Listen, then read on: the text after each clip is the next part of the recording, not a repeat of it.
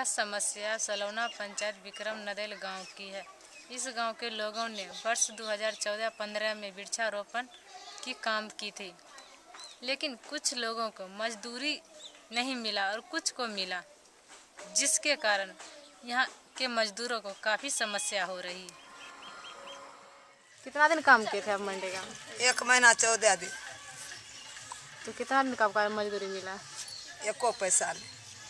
आप कोई काम जो आप करने गए थे तो किसके द्वारा गए थे?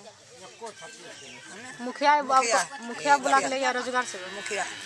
मुखिया कहाँ का? सलोना मुखिया का नाम जानते हैं? हाँ सागर मुखिया। हमारे पंचायत में जो भी काम मनरेगा के तहत हुआ है बैंक में पैसा आता है बैंक से मजदूर का पेमेंट होता है लेकिन कठिनाई यह है, जो मजदूर दो महीना काम किया है, उसको पंद्रह दिन का ही पैसा पहले आता है। तो हम लोग उसको कहते हैं धीरे धीरे जैसे जैसे साइन होगा, वैसे वैसे पैसा आएगा, आप लोग घबराइए नहीं। हम लोग प्रयास में लगल हैं। जैसे जैसे पैसा आ रहा है, वैसे वैसे मजदूर को मिल रहा है, कहीं से कठिनाई नहीं है। जो कठिनाई होगा, हम लोग वीडियो साहब से मिल करके इन लोगों का पैसा सबको मिलेगा सॉल्व करेंगे, जैसे भी हो।